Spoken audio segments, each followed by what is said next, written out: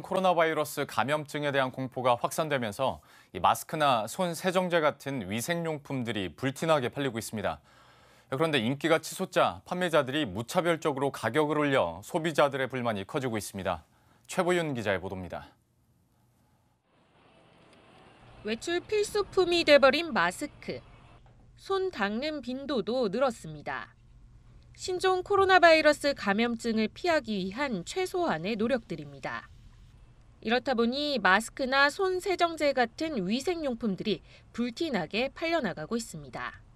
대형마트나 편의점의 관련 매출이 많게는 10배 이상 늘어났고 약국에서도 없어서 못 파는 품목이 됐습니다. 특히 온라인몰을 통해 대량 구매하는 수요도 늘었습니다. 그런데 이런 틈을 타 판매자들이 가격을 대폭 올리고 나서면서 소비자들의 원성을 사고 있습니다. 실제 한 마스크 가격을 비교해 봤습니다.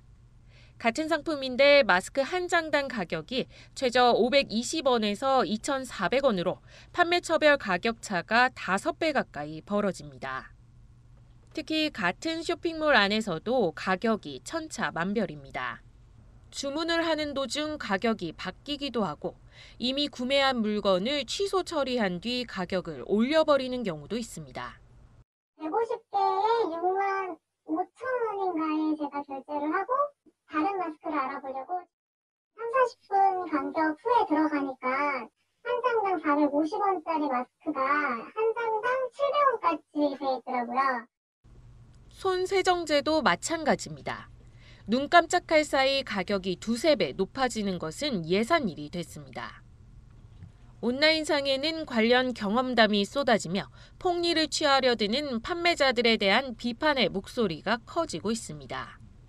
한국소비자원으로 접수된 관련 소비자 피해 신고도 이틀 동안 100여 건에 육박했을 정도입니다.